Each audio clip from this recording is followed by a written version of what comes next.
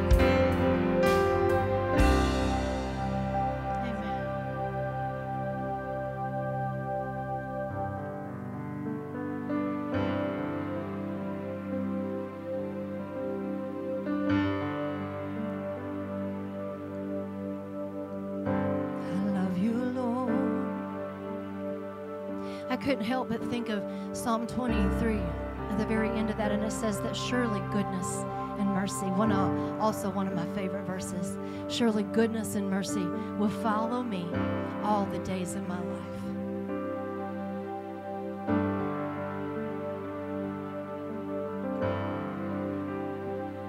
Father, we ask that your Holy Spirit fill this place and that we would understand that your goodness and your mercy follows us like to see almost like you chasing me down for your love. Because you are such a good father. You just pour out a huge bucket of water, but it's your mercy and your grace upon your daughters and your sons in this place. God, help us to have that revelation of who you are and what you want to do in us.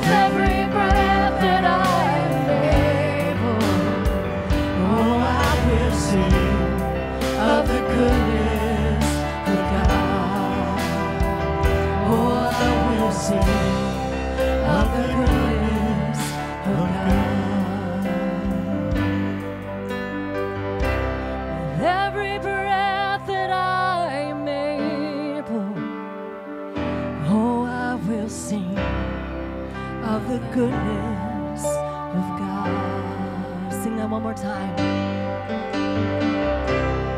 With every breath that I am able, oh, I will sing of the goodness.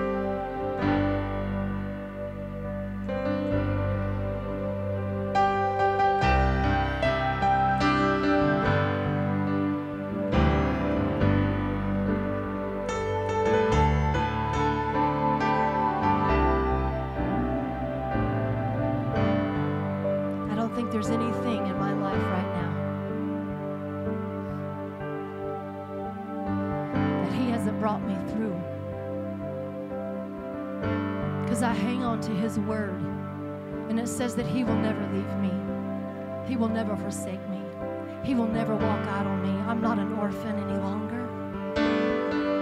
The world can disappoint us, right? Houses can burn to the ground. Those things will never give you happiness. I want you to look around at your children, your grandchildren, your family, your friends in this place. He has been so good. There is no thing that anybody could offer me. Riches or gold, just like the song houses or land, I wouldn't trade it for him.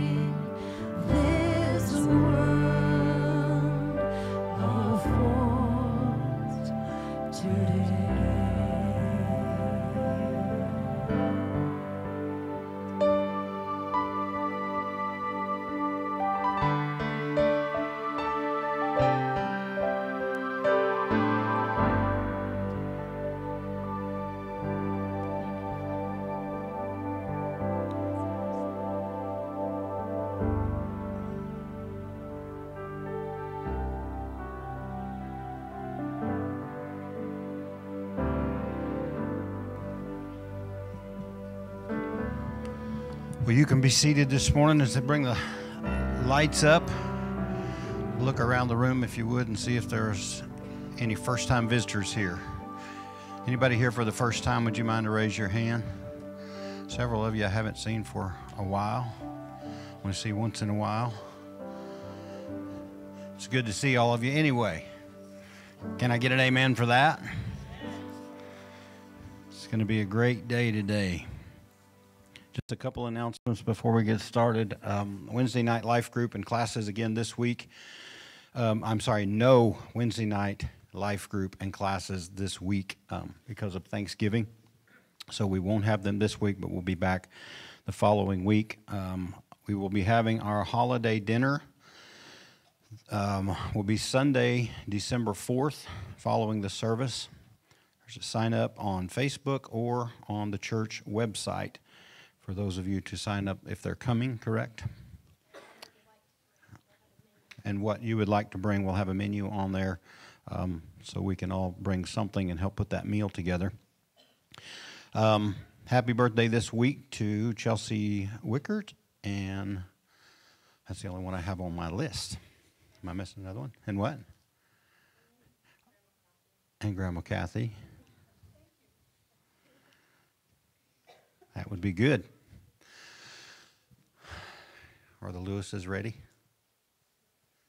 Okay. We're going to do a baby dedication dedication this morning, and we need just kind of a minute to for them to get up here and and and get ready.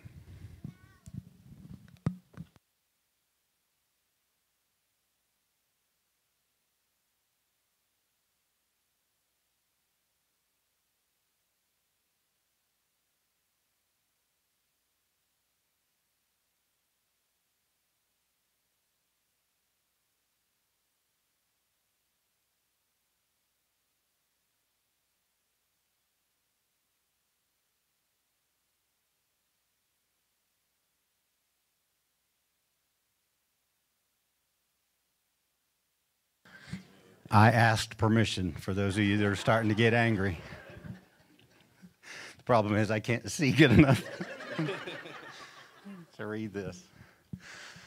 again, I know I'm kind of kind of making a little joke here in the beginning, but I'm going to bring it back around. You guys know that I love baby dedications and things like this, and I take them very seriously. So please don't be offended by this. This was just a little humor. But um, one of the things I love about baby dedications is being able to be part of people's journey, these young couples' journey. And so when we've been able to be a part of their lives over a several year span and over and through things with them and things like that, it makes it even more special that we get to be a part of praying over these babies and declaring the word of God over them and things like that. And so I was thinking about the name Maverick this week, and um, so I looked up what the meaning of the name Maverick means. And I thought this would be very fitting, and I'm going to pray it over him here in a, in a few minutes too. But the name Maverick means an independent man who avoids conformity. Because all week long I just kept thinking, God, what's, what's the thing about Maverick? What's the thing about Maverick? And, and as soon as I read that scripture, how many know the Bible says to be not conformed to this world, but be transformed into the image of his son, of his dear son? Amen? So every time I think about calling somebody Maverick or calling this boy Maverick, I'm, I believe that we're basically declaring he's not going to be conformed to this world, but he's going to be transformed, amen, into the image of his dear son. Would you guys stand with me as we pray over this family and over Maverick, Ryan, Charles, Lewis this morning, and the rest of the family? Isn't that a beautiful family? Father, as we come to you today in dedication of this baby, representation even of Jesus when they brought him to the temple, this family, God, is here to dedicate him in front of their family, their friends, and announce their commitment to raise him in the fear and admonition of you. Father, we just speak life and blessing over this baby. As Hannah and, and Simeon did over baby Jesus, we just begin to declare your blessing and your favor and your protection over this child as he grows. And God, no accident of his name, that he will not be conformed but he'll be transformed into the image of your dear son. We just declare that, that he is a special child and that he will do great things for you and your kingdom. We pray your protection, your health, your blessing upon him and upon these parents, God, as they lead this whole family on all these children, God. They're all blessings. They are all a gift from you. And your hand is upon them all just the same. And we just dedicate them to you. We commit their lives to you to, together with them in faith today. In Jesus' name we pray all things. Amen. Amen. Thank you, guys. Would you give them a hand?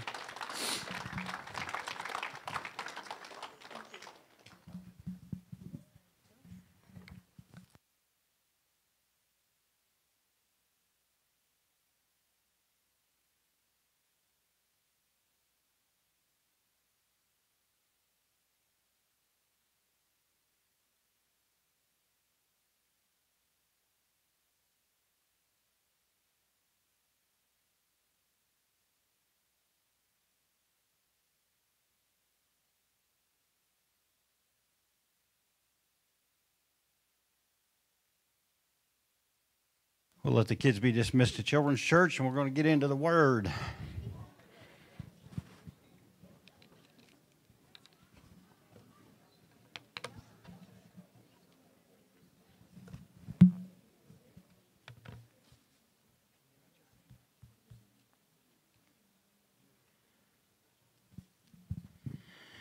If you would get your devices or your Bibles out, whichever way you prefer. We're going to get back into what we started with a couple weeks ago. For several weeks before that, God had been really dropping this one word in my spirit, and though it's the word limitless. How many really believe that God is limitless? I mean, seriously. I mean, it sounds good to say that, but do we really believe it? And that, that's what I'm after. That's what I believe he's challenging me with personally. And I believe this church and I believe the body of Christ in this season. I'm hearing more and more people uh, preaching along these lines in this thread or vein, if you will. And I don't know about you, but how many know that um, in life there's limits on everything? One of the ones I hate the most is speed limit. I drive a Chevy, it's hard to keep that thing toned down. But speed limit. There's, there, there, there's governor switches on, on all kinds of things, so you can only take it so far. And I understand the protection part of that, and so don't, don't get on my case too bad about this. I'm trying to make a point about limits. There's, there's, there's, there's, we're limited in so many ways. You can only buy so many things, or you can only do certain things, and depending on the situation, there's so many limits. And I just believe that God is not, how many know He's not contained or constrained by man's limitations? Kinda.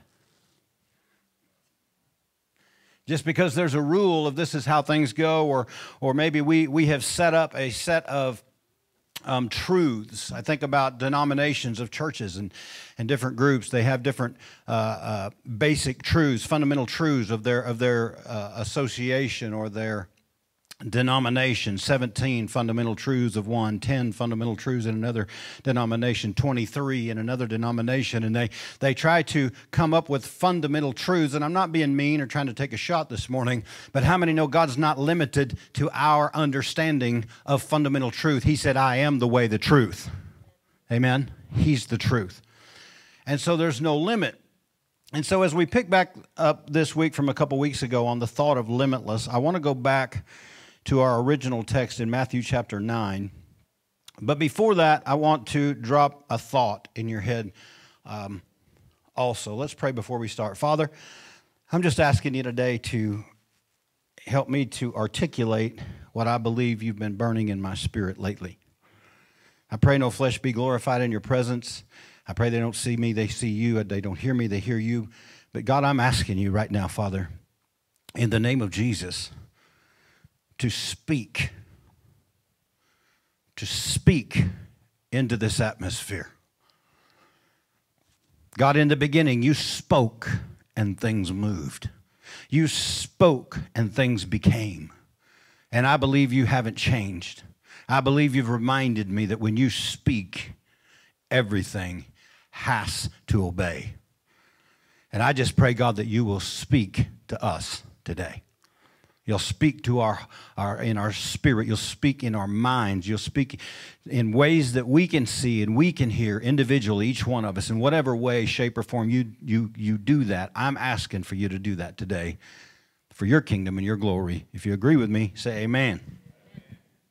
So I want to go back, and before that, I want to talk about an Old Testament story that you guys are all familiar with. It is when Moses began to lead the children of Israel out of bondage into a limitless, I mean, promised land. How many know that he began to lead them out of a very limited situation and a limited lifestyle and a limited life and hope? And he was trying to take them to a place of opportunity, complete, limitless to them, it would be of the promised land that he was trying to take them to, and he wanted them to dwell in that land. How many really believe that God wants you to dwell in a land like that? Now, not then. Everybody say now. Now. And I believe that, and I believe this is something that He's really laid on my heart um, recently to share and to remind you guys of. He's leading them out of bondage to a promised land. And how many also know that names were important to God? All through Scripture, names were important, just like this morning. That's why uh, when, I, when I go to dedicate a baby or, or I think about these young parents when they're having children, I, I ask you to sincerely pray over what to call that child what God says about that child because all through Scripture, names were important, and what parents named their children and what they called that child and what that meant was important to God and it's important to us. Amen? How many really believe that? Couple of you. We're going good so far. But we don't introduce ourselves. Think about this. We don't we do not introduce ourselves to other people by what we do. How, most of the time, there are some people who are so ate up with what they do, that's their whole identity, and they're wrapped up in that. But I mean, no, honestly, when we introduce ourselves to someone, we don't introduce ourselves as, Hi, my name is Mike, I'm five foot 10. Or, Hi, I'm five foot 10. We say, Hi, my name is Mike, right? We don't introduce ourselves by what color we are. We don't introduce ourselves by what we do. We don't introduce ourselves by anything other than our name because names are, are important. And we introduce ourselves to people because we want them to call us that. Right? That's our name. That's what I want you to call me. And then we could go a little further with that into nicknames. How many have nicknames? Maybe growing up in your family, you had a little nickname, but how many know not everyone gets to call you that nickname? What someone calls you is a privilege. And so when you have a nickname, I'm going somewhere, stay with me. When, when you have a nickname, there's only certain people can call you that. You get in a group and you know you, you and your buddies are there and you've got your nickname and they're calling that and then some new guy walks up and he's like, hey, yeah, how you doing? All that and he tries to call you your nickname. You're like, whoa, stop, whoa. You don't talk to me like that, right?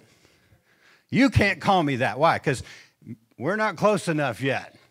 We don't have that relationship yet. You can't call me that yet. Everybody say yet. We're going somewhere. Stay with me. God is into names all through Scripture. Names are important, and what you call something is important. In the book of Genesis, God allowed Adam to name all the animals. He would parade the animals in front of Adam, and Adam, he would say, What do you call that? And Adam say, I think that looks like an elephant. God said, That's what we'll call it. I mean, no, that's before it got messed up. Whatever man called something and declared over it, that's what it is. The Bible says you declare a thing and it is so. We're right back into kingdom mentality again. The kingdom operates by how we talk and what we declare into the earth. If you're made in the image and likeness of God, you're made in the image and likeness of God. What you say about a situation, what you say about a person, what you say about something has power behind it. Or you're really not made in his image. Right? So, so what we call something, and so God instructed Moses, he said, Go tell Pharaoh to let my people go. And Moses, stuttering, you know the story, starts arguing with God. And he, he basically makes, and I'm going to paraphrase all this, you guys know the story, but he says, basically, who am I going to tell them or him who sent me? Because understanding the situation, the, the Egyptians, it was a polytheistic nation. You say, what is that? That is a nation of many gods. So for Moses to walk up and say, hey, God told me for you to let us go. They would have said, Which God? Which one? Because there's many gods, right? And so Moses goes to God and he says, God, I, who am I going to tell them sent me or told me to say this? And it's interesting because God says to Moses, Moses says, I need a name to tell them. And God said, I could just see God saying, oh, okay, write this down. Moses get his little pen and his stone out, or his chisel and his stone. I guess I don't know what he was writing with.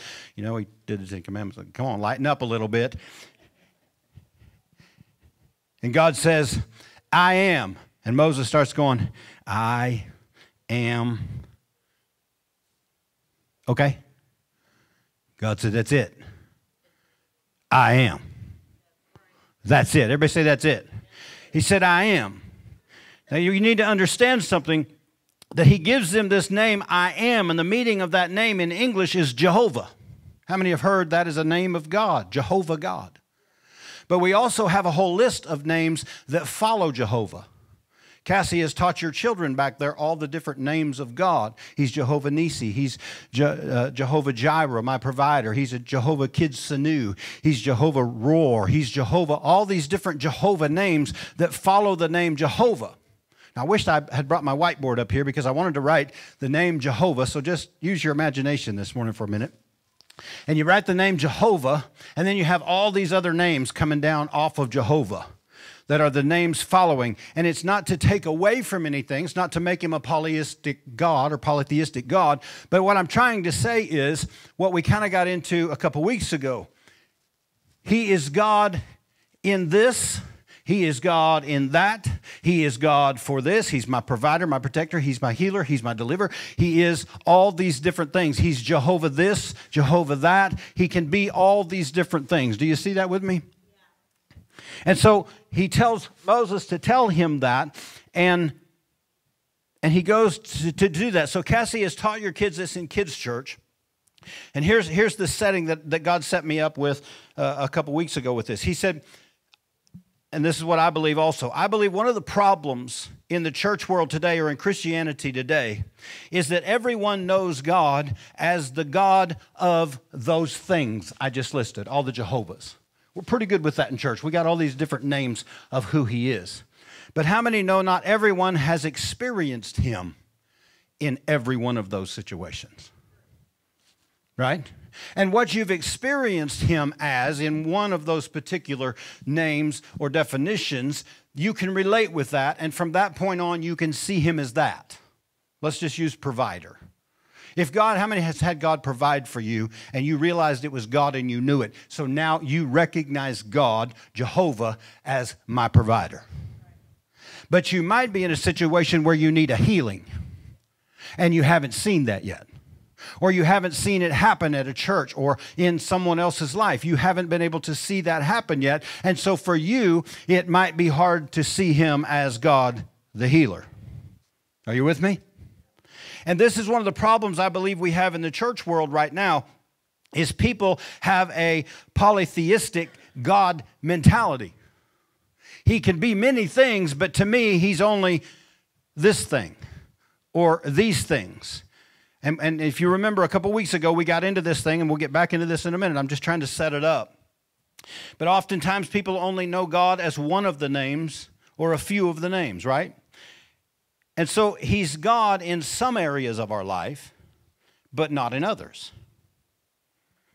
This is not to confuse you, but to let you know or let people know that he will be God in every situation sometimes, some things we recognize Him as God, and some things we don't.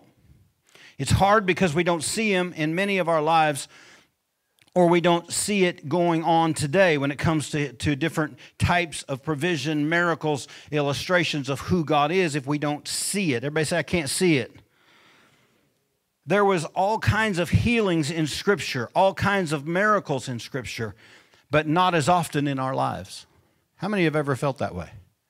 I read them in the book. I see Jesus just going through towns, just doing this and doing that. And the disciples, even Jesus' disciples, pray for people, see things happen. There's prison breaks, there's, there's signs and wonders. And I went through this season in my life, and it's like, God, if these are supposed to be common things, why am I not seeing them? Everybody say, seeing. And so he began to lead me personally in a direction and asked me to do some things that seemingly had nothing to do with what I just asked him about. And I'll give you one for instance. I said, God, I pulled out of a church parking lot one morning and in this particular setting, uh, we just weren't seeing anything happen. It didn't feel like to me. And I was so, I was so hard after seeking God and wanting to see Him as the God I believed in my heart He could be. And we just weren't seeing it. And I pulled out of the parking lot one day and I said, God, where are these things? And He said, Sell your place and move to Oklahoma. What in the world did that have to do with not seeing signs and wonders and miracles at church on Sunday? Amen? And so that's just one illustration. How many have ever had God ask God a question like that and have him respond in a way like that? It's just like totally this way, and you're going, Did you hear me? Are you even listening to me? That's that, that and, and that's how he does sometimes. And so I want to share with you what God dropped in my heart. So let's go back to the story in Matthew chapter 9, and I want to reread that, and then I want to pull some more stuff out of this. There's about five messages in four verses right here. And so we're just going to do one at a time, not this week. Everybody say, Phew. yeah. Matthew 9, verses 27 through, I think, 31, but we'll just do a few at a time. When Jesus departed from there, everybody say there, he left one place going to another.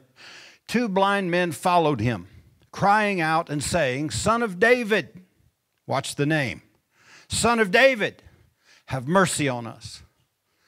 And when he had come into the house, the blind men came to him. They're still following him. And Jesus said to them, Do you believe that I am able to do this? We talked about that a couple weeks ago. And they said to him, Yes, Lord. And then he touched their eyes, saying, According to your faith, let it be to you. Let's just stop right there. We talked about the fact that these two guys were blind, but yet they were still following Jesus a couple weeks ago. Remember that? They couldn't see, but evidently they could recognize him. So just because we're not seeing things in our life doesn't mean that we can't follow Jesus. We covered that. Remember that? Just because I might not have every revelation, I might not, I, I, might not be seeing him in this particular situation or this particular way yet, doesn't mean that I can't keep following him. So many people today, it seems like, are weak. Hmm. I'm not trying to be harsh. It's, we've raised a lot of panty waist generation in the last little while. Everybody's really not a winner, but we told them they were. And so then when they ran into something that they weren't called a winner, they all quit and pout and cry, and they're weak. I listened to Prime Time yesterday talking about this being a coach and, and how it's so different now. And, and so so many people quit if God, if I, if, you know, it's like I didn't see him today, so forget this church stuff. I tried God once. I tried church once. I tried forgiving once. I tried giving once. I tried doing this once, and it just didn't work. How many know we need to get some consistency back? We need to get some commitment back. Instead of just trying it one time and quitting, we, we, we, we know that God's leading us a certain direction and we commit. Everybody say commit. And so we talk about this that these guys were blind, but yet they follow Jesus, and how sometimes in our life we, we may not know everything but, and have all of our senses working, but some of them can be enough to where we recognize this is God's voice. And we follow the voice. Even though we can't see yet, we still follow the voice. How many know that's a good thing? I'm not on negativity right now. This is positive. So these blind guys are surrounded by people who can literally see Jesus, but they're really not receiving from him what they could get because they don't recognize him as who he really is. But the blind guys do, and they cry out to Jesus and they're following. Then he goes in the house, they follow him in the house. These guys are committed. You can be a play in a place in your life where it seems hard to see him or not at all, but still follow him. These guys couldn't see him, but they still could recognize him. They were surrounded by people who could see Jesus, but weren't following necessarily. They could see Jesus, but not receive from Jesus. So I want to not only take the pressure off of you, or those of you who might have limitations when it comes to your relationship with God, or seeing God, or hearing God. I want to take that pressure off of you for a minute this morning. But you still want to follow Him. How many in here say, I don't have it all figured out? But I still want to follow him.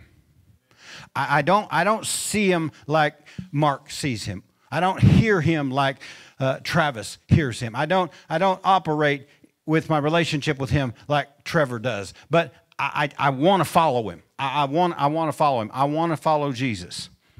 That's who I want to start talking to for a little while this morning. I want to follow him. And, uh, and also, I want to get you to recognize that just because you don't have everything figured out, I know I'm going over this, but I know I'm supposed to go over this many times.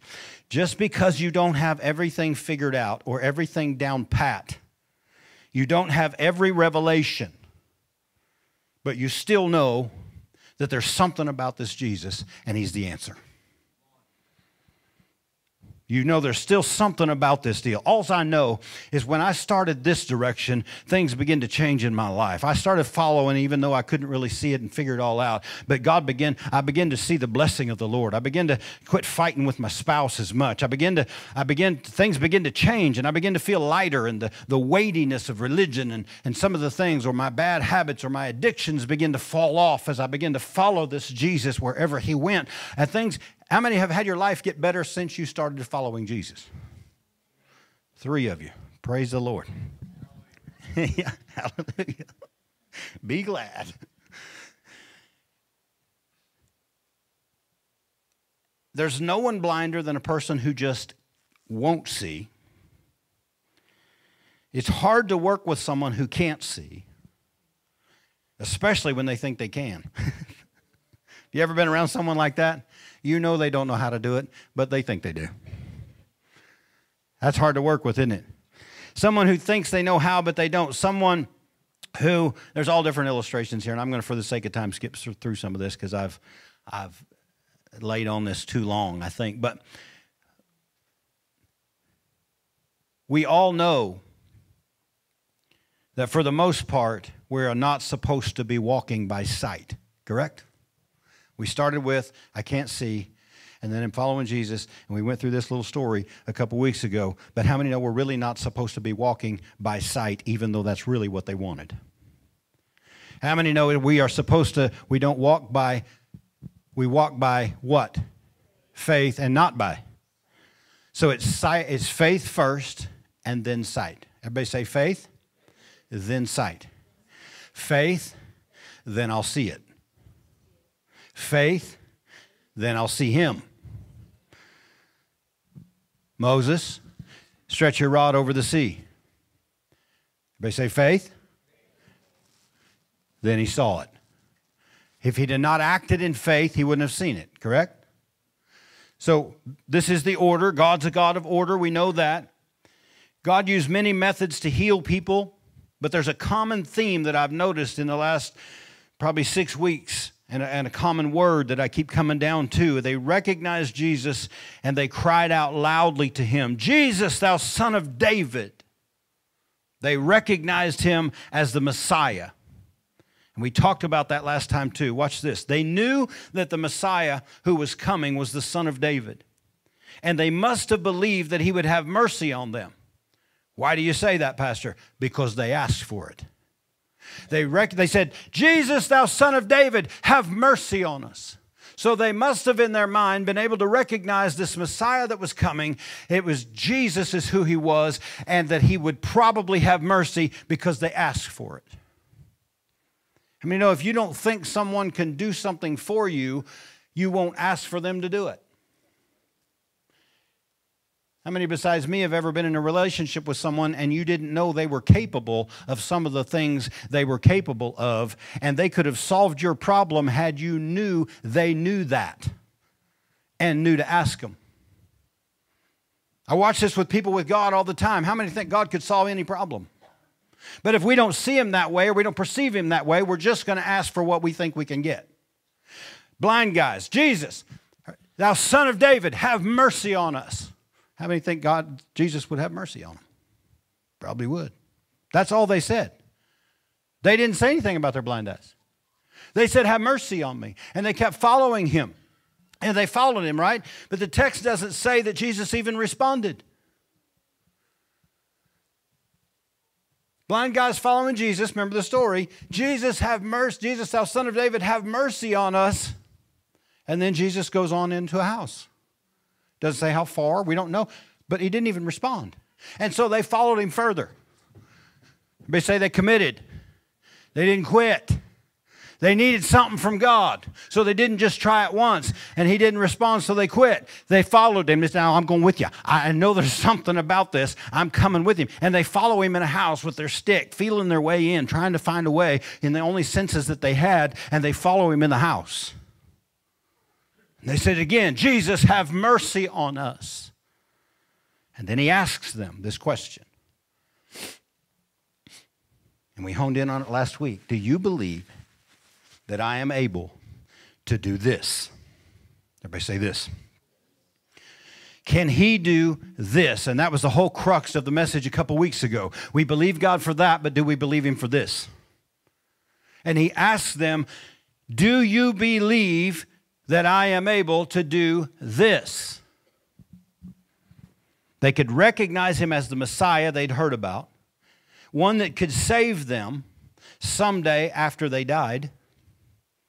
This is how the mentality in a lot of Christianity is today.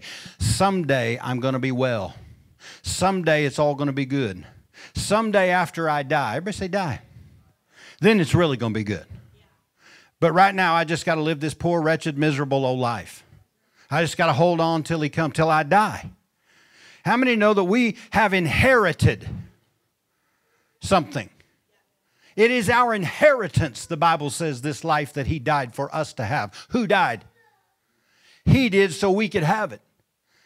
I mean, you don't get anything when you die. Not here. But the mindset and the understanding is this limitless God that can just barely meet one or two or a few of my needs or, or lead me and guide me in certain situations, but it'll really get good after I die. What a miserable way to live life. And I hear people, I'm just ready to go ahead and go. I'm just ready to get out of here. And I'm going, You're missing it. I am going, I said this I'm going to milk this here and now life for every drop I can get out of it before I go there. I think it's going to be good there. I believe in there. That's fine with me, but I want it here. Amen. And I'm not saying that out of uh, selfishness. He died so we could live, not after we die. So we could have life and have it more abundantly. Everybody say right here and now. So, what's the problem? We're going to get there hopefully. They saw him as, as, as many people see God today, as someday I'll be happy. But Jesus wanted to know do you think I can do this here right now? What's interesting to me is their response. Look at their response. Pull that verse back up if you would. 28, I believe it is. And when he had come into the house, the blind men came to him, and Jesus said to them, Do you believe that I am able to do this? Look at their response. And they said to him, Yes. Jesus? Yes, thou son of David? Yes, my Jehovah something? What'd they say? Yes, Lord. And I mean, this rung my bell. The difference between a limitless God is on what we call him how we perceive him and what we say about him. If he's just one of the Jehovah's, that's all you're going to get. But if you see him as Lord and you declare him as Lord, how many know there's no limit? This is the problem. We've got a mentality in Christianity today, it's like Burger King. Hold the pickles, hold the lettuce, special orders don't upset us. You can have it your way. Tell your neighbor you can't have it your way. He can't be, I want a little bit of Jesus and then the rest of my stuff on the side. I want my life and a little bit of Jesus on the side.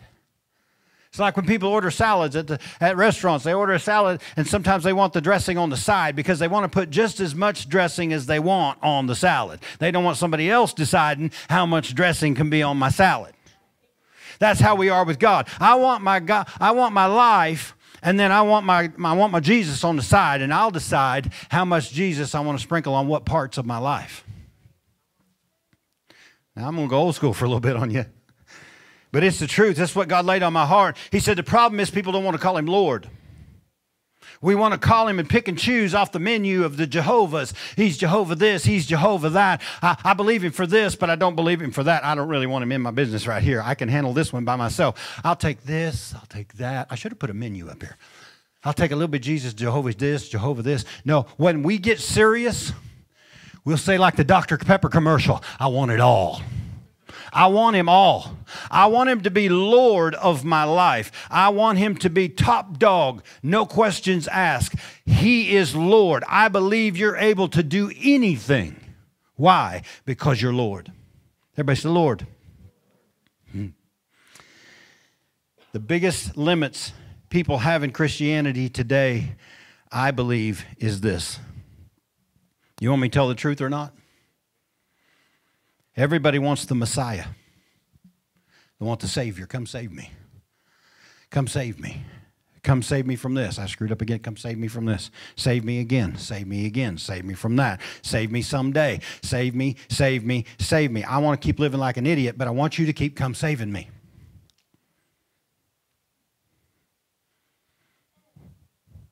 Rescue me. Save me, help me, the salvation for someday, the mercy for today. I don't really want to change. I don't want you to be Lord of my life. I just want you to help me each day. I want your blessing, God, but I don't want you to be Lord. Most of us just want God to be the God we see or need at the moment or for what we want, but not everyone wants to call him Lord. And then I just had this explosion of scriptures go off in my mind lately of all the places where people called him Lord and what happened. There's a difference when people called him one thing versus Lord. When you start calling him Lord, it, you, don't, you can't just say, Well, I'm going to call him Lord so I can get what I want. No, there needs to be a change in here first. There needs to be a submission to him first. We quote the scripture all the time. We take parts of scriptures like, resist the devil and he will flee. But we omitted the first part of that verse that says, submit yourself unto God. Everybody say, Lord. Then, comma, resist the devil and he will flee. If you didn't do the first part, everybody say, order. Don't expect the second and third part to work real well. God, bless my business. I don't want to run it right. I just want you to bless it. God bless my relationship with my wife or my husband. I don't want to treat her good. I just want you to bless it. Y'all right? Stay here. We'll get better before it's over. This is the difference between following a Jesus crying out for mercy all of the time and still not being able to see him. It's right here. It's in the word Lord. Say, Lord. What does the scripture say about what's going to eventually happen? Let me start you off with two words every knee. Can you finish the verse with me? Every knee shall bow, and every tongue will confess what? Jesus, thou son of David. Jesus, my healer. Jesus is, no, that Jesus is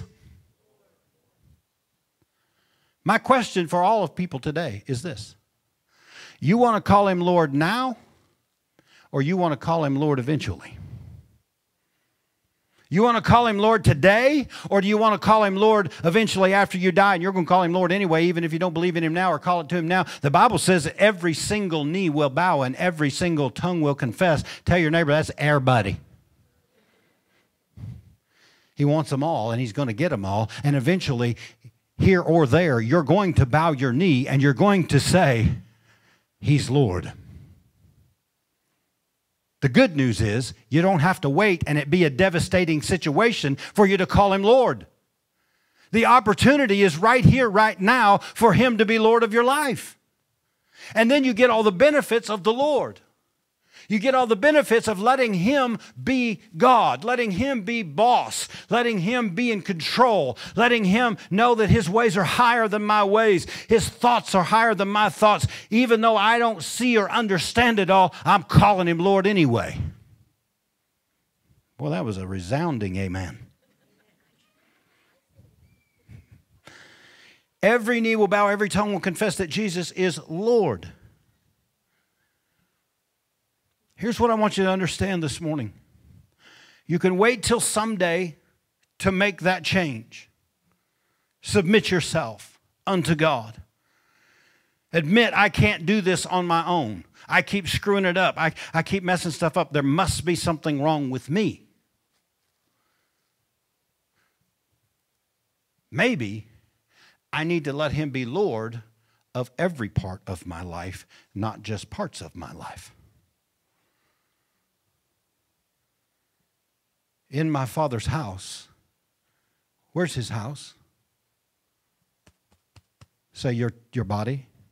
Know ye not that your body is the temple of the Holy Ghost? It is the house of God. Say, hello, house. In my father's house are many dwelling places. Everybody say rooms. There's certain rooms in your house and my house that we allow certain people into, and there's certain rooms that we don't allow people into. Jesus said, I'm going to there. I'm going to prepare a place where you and I can dwell together. I want him to be Lord in every room in my house. I want to live limitless. I don't want to say, yeah, he's God of my finances, but he's not God of my health. Yeah, he's God of my health, but he's not God of my finances. I just have my money, God. I don't want you to really be Lord over that. I got that. I got that. I want you to be Lord over my business, but I don't really want you to be Lord over my relationship with my spouse. I got that one. I know them. Are we okay? It's rampant in our world today because people hate authority now more than ever that I've ever heard of. because of abuse, bad authority figures, uh, whatever. People hate authority. How many people work with people? Of course, not any of you, but you work with people who do the bare minimum at their job. Or you hear statements like, well, the boss says I want this, but I ain't doing that. I'm not going to do it their way. I'm not going to do it this way. I'm not going to do that way. I know the Bible says this, but. I know I shouldn't do this, but. It goes in everything. I know my coach says this, but. I heard a really neat phrase this week. Everybody needs a therapist for your past and a coach for your future. Isn't that good? It was prime time that said that. If you remember him, the football player. Everybody needs a therapist for your past and a coach for your future. We got to get back to the relationship with God that He's Lord, that He's God.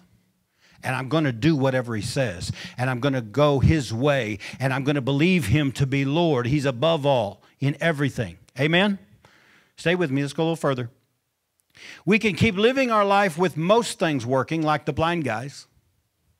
Like your legs still work, your hearing still works, your hands kind of work, etc. But there's nothing, and there's nothing wrong with that at all. If that's all you want in your relationship with God, how many know He'll let you live at whatever limit you want to live? If you want Him to just be your Savior someday over yonder after you die, how many know that He's good with that? He'll be that too. And you can miss out on all the life here and now that He has for you. You could miss out on the relationships. You could miss out on the opportunities. You could miss out on, on the health that He wants you to live in your, in your physical body. You could, we, can, we could miss out on all this kind of stuff if we just limit Him to the God after I die. Or we could take parts of that and say, God, I want you to be this, this part or that part. And I've got, say, three out of five. I'm pretty good. And, we, and you could stay right there if you want. But I really believe in my heart. I'm thinking that there are people listening to me right now and online later who don't want to just follow the voice and chase God all over and cry out for mercy all the time and not be able to see the fullness of what He can do. I feel it. I see it in people more and more all the time. People are rising up and they're wanting to see this God in the fullness of who He can be. Instead of just, yeah, we go to church, but you know, we really never see anything or do anything. I don't really feel anything at my church. Well, why do you go? Well, because my family always goes there. Do you get anything out of it? No. We really want to go to this church, but we don't go there because, you know, people talk about them. Whatever. There's, oh, we can do it with everything. We can do it with the job. You like your job? No, not really. Well, why don't you get another one? Why don't you do something you like? Well, Somebody made a reference this morning to the movie Lion King. That movie rocked my world years ago. It's one of the best movies to preach the whole story of humanity out of in the Bible there is. We are heirs of the king. We are supposed to rule and reign in life. Not in a mean way or in a bad way, it's the order of God. We're supposed to be that, but yet so many of us settle for a life and we run around with meerkats and warthogs. We surround ourselves with people in our life that are not even like us, don't think like us, don't eat like us, don't, don't have the mentality of, of who we really are, and we start eating the stuff they eat. And we make statements like, well, it's slimy, but it's satisfying. when you could have so much more.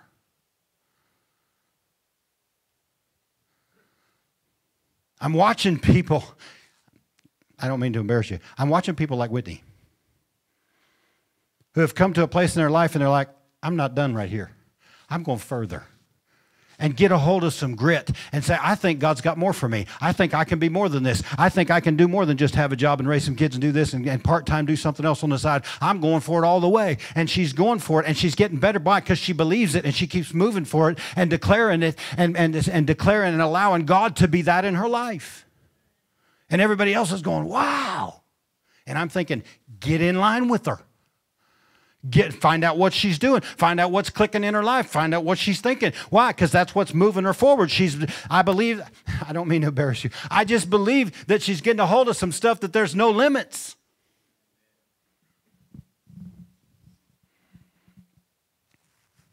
I really believe there's people that want to do this and it's getting more and more popular.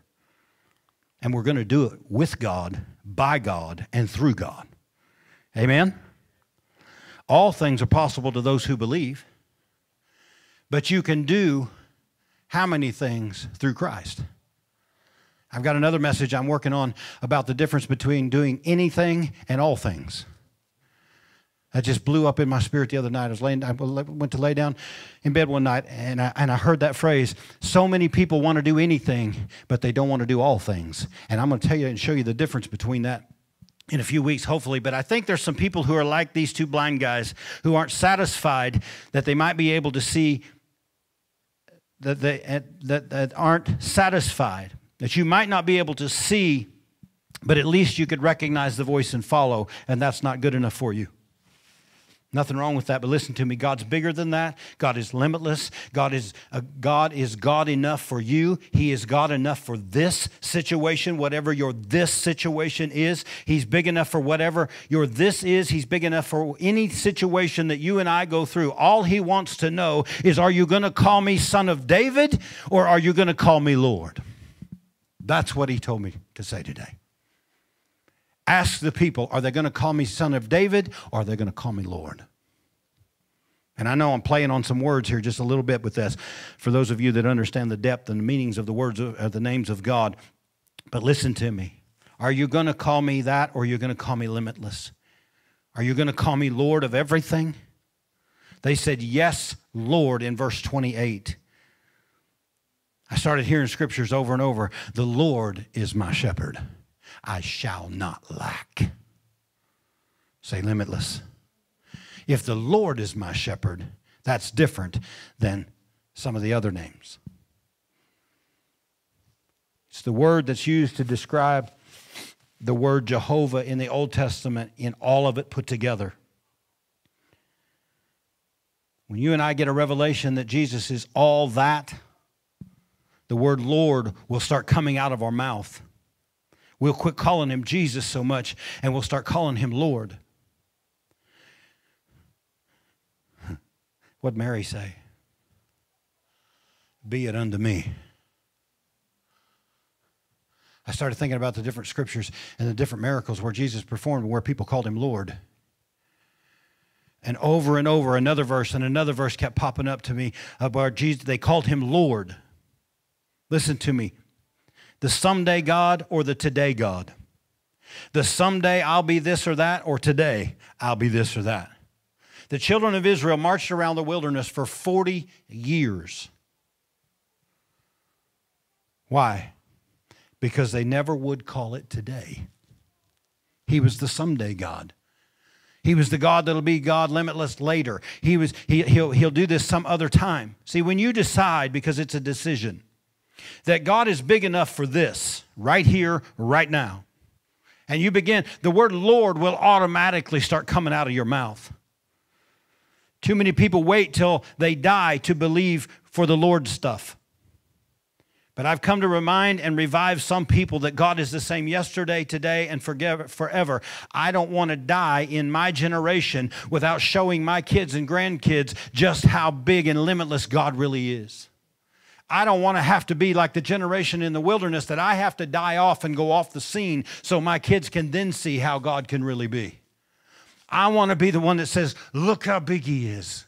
You guys can do anything that He's called you to do. You can do all things that He called you to do through Christ who strengthens you. I'm going to keep calling Him Lord right now.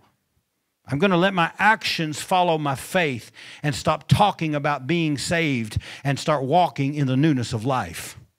I don't want him to just save me. I want him to, to guide me in everything that I do. He is Lord right now. I want him to be Lord of my thoughts. I want him to be Lord of my actions. I want him to be Lord of my money. I want him to be Lord of my friendships. I want him to be Lord of my businesses. I want him to be Lord of everything I have today. Somebody say today. I keep hearing that scripture from David Psalms 27 13. Did I give you that one? Watch this. I love David. I would have lost heart unless I had believed that I would what? See the goodness of the Lord in the land of where? David didn't say, I would have lost heart unless I'd have believed that someday after I'm dead, I'm going to see the goodness of the Lord. But that is the mindset of so many people that call themselves Christians today that I would have lost heart, but I, I just know that someday after I die, he's going to really be Lord. That's not what David said.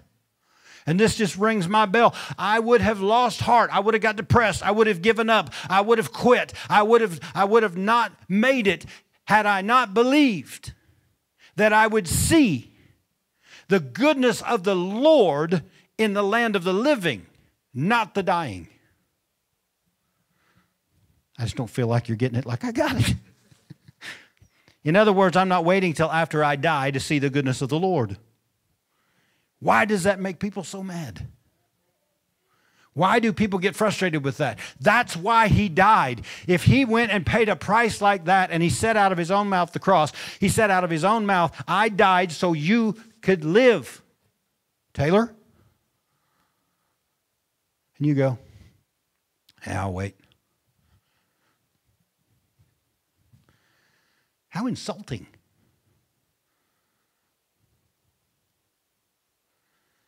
Anybody ever tried to raise kids and you provide for those kids and you work for those kids and you sacrifice for those kids and you give for those kids and you provide for those kids or you run a business or a company and you sacrifice and you try to provide jobs and open doors and opportunity and then they go, "Yeah." Anybody ever done that? That's what we're doing to God. When we're like, well, I'll take a little bit of life. But I'll just wait till I die for the rest of it. I'm not trying to be mean this morning. I'm trying to encourage you. We have to wake up to the fact that Jesus, what Jesus did for us 2,000 plus years ago, wasn't just so we could barely survive in this life and then someday everything would be great after I'm dead. How many really believes that? If you believe it, stand up. If you believe that it's not that way, let me say it that way then stand up. How many really believe that He wanted to give us life right here, right now, and over there? There we go. it's my fault. I'm not making myself clear. I'm not communicating. We have to wake up to the fact that what Jesus did for us 2,000 years ago wasn't just so we could barely survive in this life and then someday everything would be great. Will we have tribulation in this life? Yeah. Will we go through stuff? Absolutely. That's what makes it such such a blast. The good times and the bad times. How many know you can't appreciate a good time unless you've been through a bad time? We call that a spoiled brat kid that's never been through anything and never lacked for anything or, or missed out on anything. I'm thankful for the hard times that I've been through, and I'm thankful that He's God enough to, even though He's limitless, He's not going to make me a spoiled brat kid. He's going to allow me to go through stuff so I can see Him as my provider, my protector, my shield. He's going to allow me to go through things in life so, so I know that I don't become that kind of a person. But we can cover, overcome it, we can get through it, and He will use it all for the glory of Him and for His glory.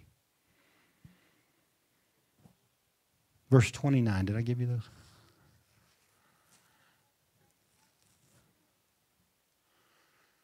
He said, Well, uh, you might say, Pastor, you've been kind of harsh this morning. I, am not, this is nothing personal with anybody. This is what he's been dealing with me with over the past two years. Do you want to just keep living the life you're living or do you want to get with it? You want to die out at 50, 52, 53 years old, just kind of, or do you want to get after it? I said, I want to see everything you told me I'd have. And he said, Well, then start doing what I tell you to do. Quit limiting me. You're telling me what I can't do. My prayers, I started listening to my prayers back then, a couple years ago. They were sick. And I don't mean that, I, I'm just saying they were sick. They were weak. God, I'd really like to see this happen, but I know there's nobody here to help. You know how I pray now? Thank you, God, because all the help's either here or it's coming. Help me to wake up and see who it is and what it is. Thank you, God, because I lack nothing. Thank you, God, because I have more than enough grass for my cows and hay. Thank you, God, for I have enough everything for the church, have enough for my kids, have enough for my grandkids. I thank you because you're more than enough. I just get up and start thanking Him and declaring Him Lord every day over my life, and I can't keep up with what He's doing.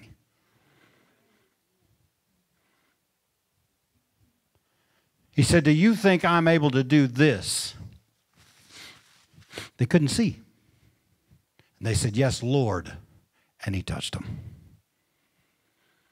See, when we begin to call him Lord, we put him in the proper place. We put him in the proper position of our life. And then he can move and act because he cannot act out of who he is and who he's not. Then he touched their eyes, saying, According to your faith, let it be to you. All I'm trying to do with all of you guys is increase your faith in Him. Quit allowing your life to be so limited. You can be better. You can do more. You can achieve everything He called you to achieve. I'm not saying you just go pick and choose and I want to be this and that and I'm not going to do anything. He's just going to do it. No, He's going to guide you into becoming and doing everything He created you to be. And it eliminates it when you call Him Lord. It eliminates all the distractions of you trying to do what you want to do when you start saying Lord. Sarah was barren, couldn't produce a child till she called Abraham Lord. Boom. You young ladies, be careful. You're already pretty productive around here. You're struggling in your marriage? It's a type and shadow. You say, I'm not calling him Lord. He don't act like a Lord. He's a dingbat. Wonder if you would call him what God called him to be, where the pressure would go. I challenge you. If your husband's being a dingbat and an idiot, start calling him Lord, and treating him like a Lord. And God will put the heat on him. See, we don't want to do that. Submit yourself unto God. Come on. Do it God's way. Then you resist the devil and he'll flee from you. Wife's not acting like the queen she's supposed to be. Maybe you should treat her like the queen she is like God said. Maybe she'll respond to that better. Then you're just a nag. You don't appreciate nothing. You don't know. It's what we call it.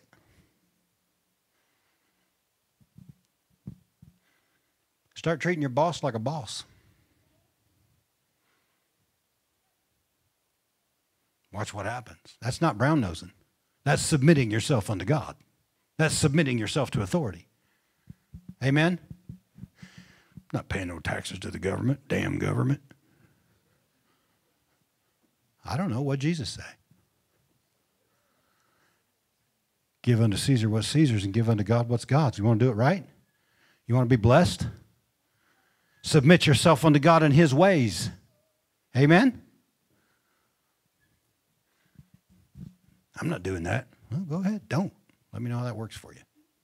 Or you can do it God's way and live limitless. Father, in the name of Jesus, I come to you again. I, I, thank you for your word. I thank you for your truth. I know sometimes it might seem hard, but it's not. You gave everything so we could have life and have it more abundantly. You gave the most valuable thing you could give to buy humanity back so we could continue to live in the place and the way and the, the life that you created for us to be and have relationship with you and walk and talk with you in the cool of the day. You are our shepherd. The Lord is my shepherd, and I shall not lack.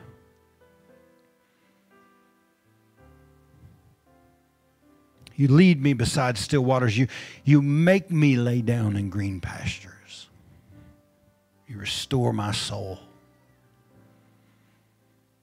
I praise you because that's who you really are as Lord. And I pray, God, that people's eyes will begin to be open and will begin to believe and trust in you as Lord and not be afraid of you because we had bad, bad uh, things happen in our life with authority. But we'll realize you are not that person. You are not those people. You are God, and you're God alone. And you're a good Father and you want to provide, you want to do, you want to do the things and give us the things and have us live the life you have for us. I praise you for it. And we pray it all in Jesus' name. If you agree, say amen.